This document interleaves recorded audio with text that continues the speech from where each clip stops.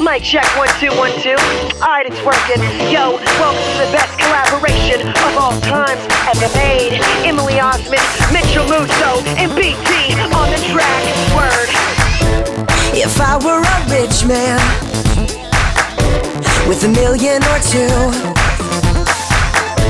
I'd live in a penthouse in a room with a view. And if I were handsome,